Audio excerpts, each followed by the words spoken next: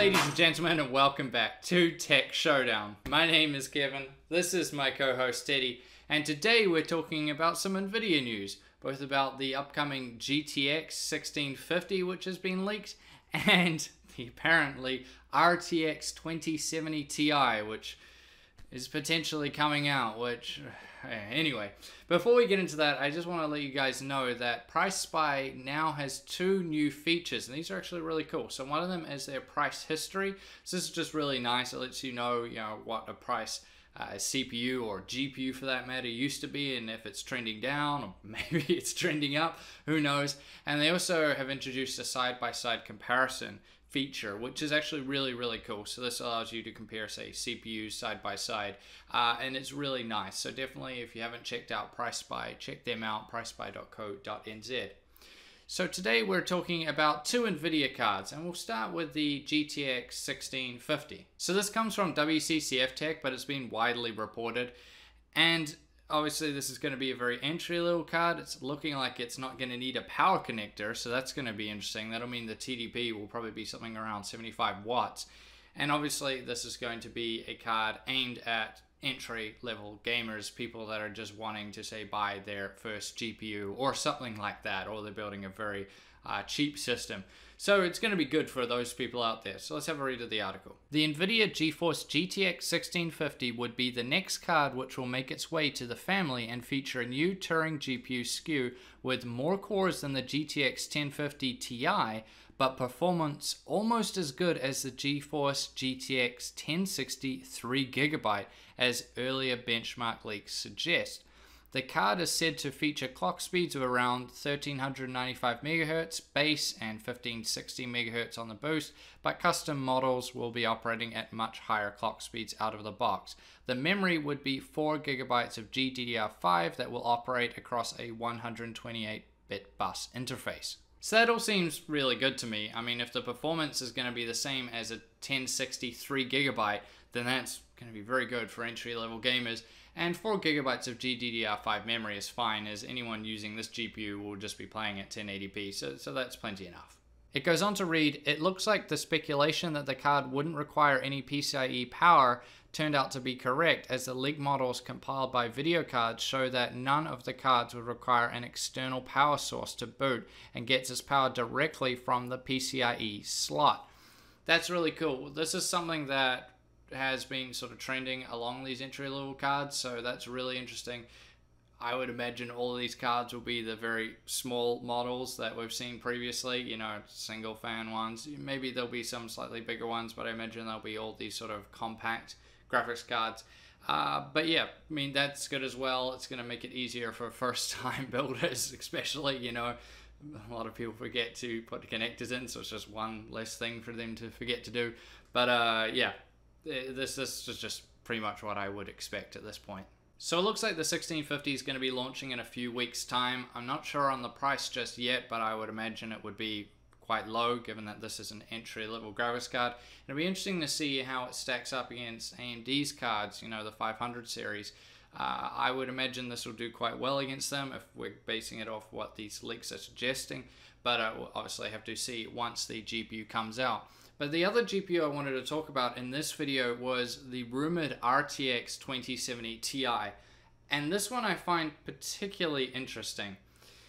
So if we think back to the previous generation, the Pascal GPUs, we had the 1070 and the 1080, and then NVIDIA, quite a way through Pascal's life cycle, released the 1070 Ti.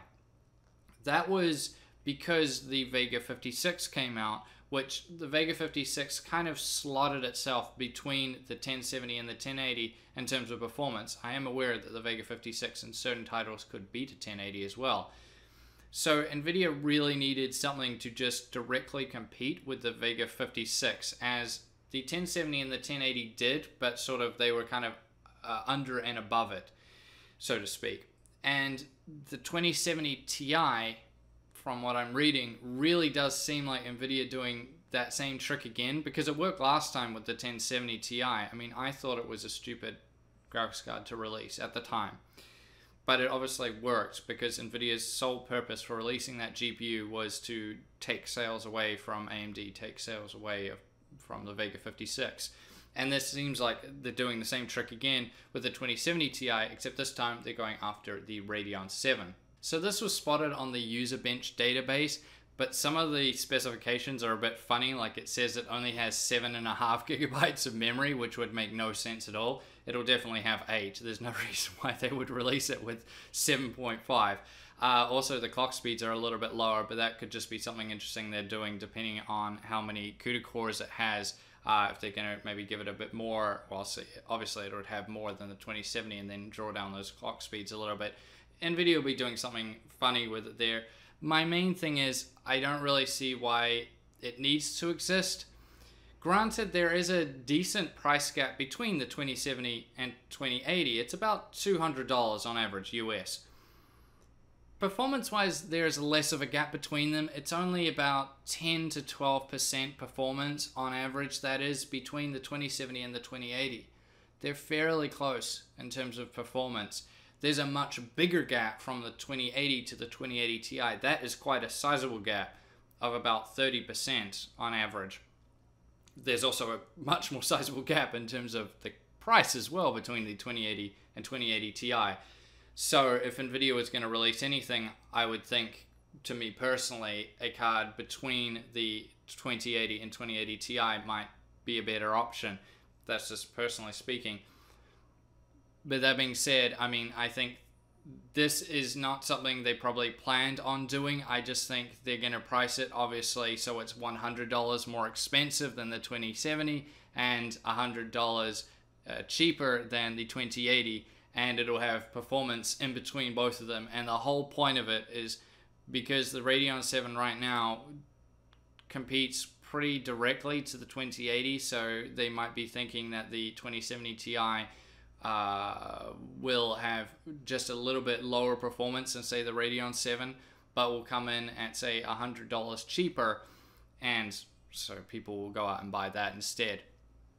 That's just my thinking. We don't have a huge amount of information to go on right now, but there is quite a bit of speculation surrounding a 2070 Ti, so I would say this is something NVIDIA probably maybe didn't plan on releasing, uh, but they're just doing it now just as so they have full saturation of the market, even more saturation than they already have, and they have something that really does undercut undercut the uh, Radeon 7, whereas the 2080, which I still view as probably the superior card to the Radeon 7 in certain ways for the most users, especially gamers. If you're doing productivity stuff and, and other things like that, then the Radeon 7, uh, there's, there's more reasons to get that. But for just pure gamers, uh, enthusiasts, that crowd, I would probably say the 2080 is better for most people, especially going forward with uh, ray tracing, all the other stuff. If that does become a big thing, I think the 2080 is the better bet out of the two. That being said, um, yeah, I think that's probably what they're going for with the 2070 Ti. But personally speaking, I don't really feel like they need to release it. But of course, they will, I would imagine, because they did the same. I didn't think the 1070 Ti really needed to exist, and it exists. So, you know, it's just NVIDIA doing what they do best, which is just over saturating the market to the point that they don't mind if you don't you know they just want you to buy nvidia. That's that's all they care about. They just want you to buy nvidia. They don't really so much care about which model it is. I'm sure they would really like people to buy things like the 2080 ti with the fat profit margins on them. But at the end of the day they just want you to buy nvidia. I think that's just the thing the uh, that that's just what they really want. But anyways i'm going to throw it to you guys. What do you think about the 1650 and also the 2070 Ti. I mean, the 1650 that's definitely coming out. I mean, there's pictures of them, and you know, so that's definitely coming out. 2070 Ti, that's looking like a bit more of a rumored thing, but I, from, from my personal experience, I would say that it will be coming out. So I want to know what you guys think uh, of both of those graphics cards. Are you interested in any of them? What do you think about the 20, 2070 Ti? Do you think it would be a good move from NVIDIA? do you think it would be a bad move? Really like to know what you guys think. Anyways, I thank you guys so much for watching this video. Please subscribe to Tech Showdown if you haven't already and like the video. And as always, I'll see you guys next time.